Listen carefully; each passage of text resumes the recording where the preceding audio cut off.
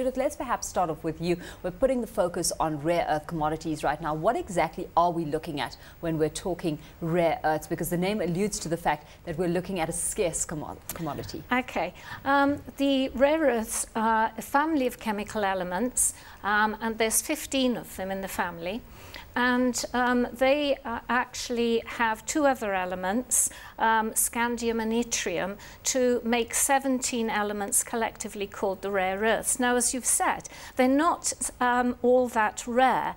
In fact, they are um, uh, more abundant in the surface of the earth than things like tin, silver, gold, platinum.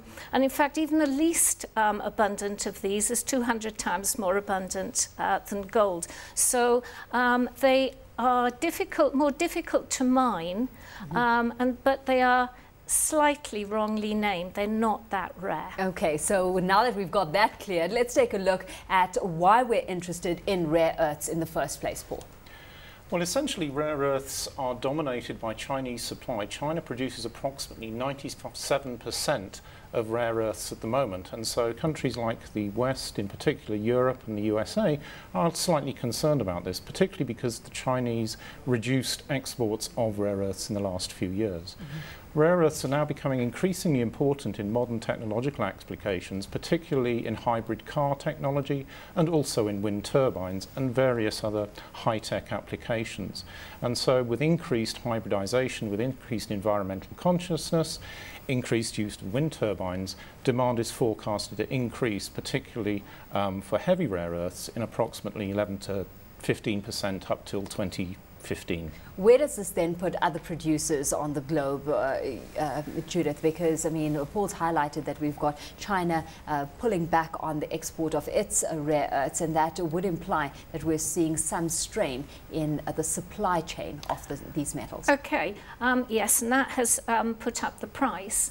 Um, but in the past, until um, China dominated the world market in the 1990s, um, rare earths were produced from um, uh, Mountain Pass in California and they were produced from uh, mineral sands, but they were also produced in South Africa. And then as China took over and um, undercut prices from other producers, mm -hmm. they obviously dominated the market. So there are um, uh, projects which are coming back on stream the one that I've mentioned, Mountain Pass in California, and uh, Mount Weld in um, Australia. And they have um, a production planned for uh, somewhere around about 2013. So there are other places, including in Africa and in yeah. South Africa, that can um, go towards producing some of the uh, required rare earths. Paul, if we put Africa in the spotlight here, what supply potential do we boast? There are two significant projects in South Africa, Zandkopsdrift and Steenkampskraal, both in the Northern Cape.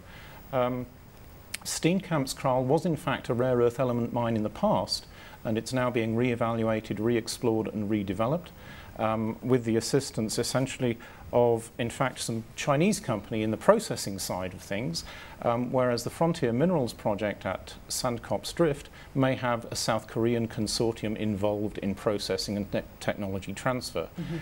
For any rare earth element deposit, the mineralogy tends to be particularly different, and it actually takes quite a long lead time to actually get a viable processing option for a particular deposit.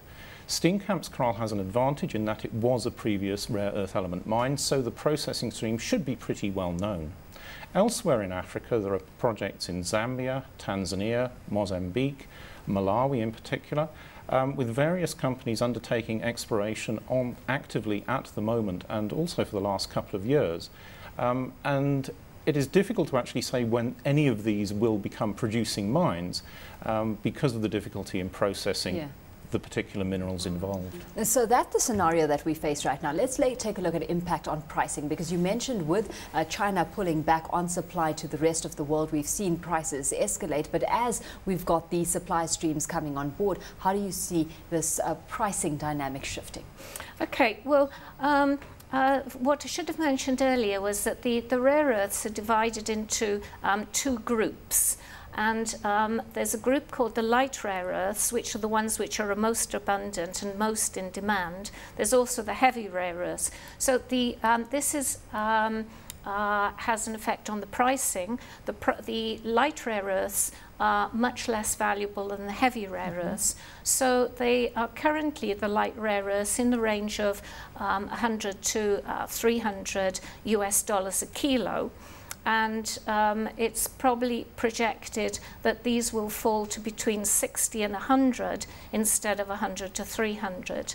And uh, for the heavy rare earths, they're currently between 300 and 5,000 uh, dollars a kilo, and projected um, prices are around about 2,000 to 2,500 going forward. But going forward, as Paul has said, there is going to be um, the output from uh, Australia, mm -hmm. from uh, the US. But that's going to be dominated by light rare earths. So as we go forward towards 2015 and beyond, there is possibly going to be a shortage in the heavy rare earths. And that is obviously um, going to um, affect the price.